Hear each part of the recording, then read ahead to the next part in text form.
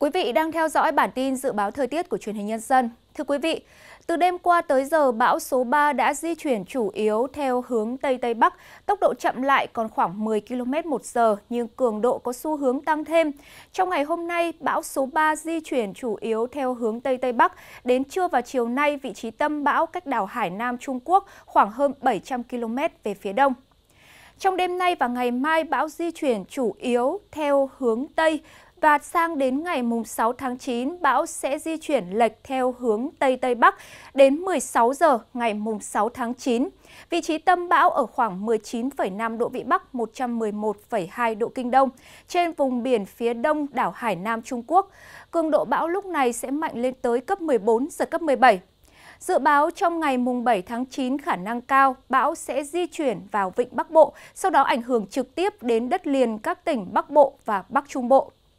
Do ảnh hưởng của hoàn lưu bão số 3 vùng biển phía đông của khu vực Bắc Biển Đông có gió mạnh lên mức cấp 8, cấp 9, vùng gần tâm bão đi qua cấp 10, cấp 11, giật cấp 13, biển động dữ dội. Dự báo từ chiều ngày mùng 4 đến ngày mùng 6 tháng 9, bão số 3 có thể đạt cấp bão rất mạnh nên vùng biển phía bắc của khu vực Bắc Biển Đông gió mạnh có thể lên tới cấp 14, giật cấp 17 ở vùng gần tâm bão. Do bão số 3 đang mạnh lên và hướng về phía đất liền nước ta nên trường gió Tây Bắc của hoàn lưu phía Tây của bão làm cho mưa giảm nhanh tại miền Bắc. Trong ngày hôm nay ở Bắc Bộ trời nắng sớm, nền nhiệt cao nhất trong ngày tăng lên mức từ 32 đến 35 độ, trời nắng và độ ẩm trong không khí giảm thấp.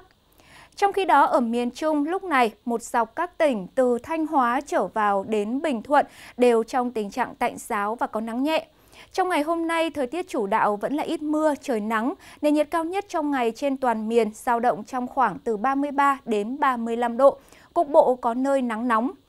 Về chiều và tối, ở khu vực từ Quảng Ngãi trở vào đến Bình Thuận thì sẽ có mưa rào và rông. Ở phía Nam, Tây Nguyên và Nam Bộ đang đón ngày mới với thời tiết nắng giáo. Tuy nhiên, chỉ đến trưa và chiều nay, mưa sông sẽ gia tăng trở lại trên cả hai khu vực. Nhiều nơi vẫn có mưa vừa, mưa to, có nơi mưa rất to và rông. Mức nhiệt cao nhất trong ngày hôm nay ở Tây Nguyên thấp, chỉ từ 28 đến 30 độ, còn ở khu vực Nam Bộ là từ 31 đến 33 độ. Và sau đây là dự báo thời tiết trong 3 ngày tại các khu vực trên cả nước.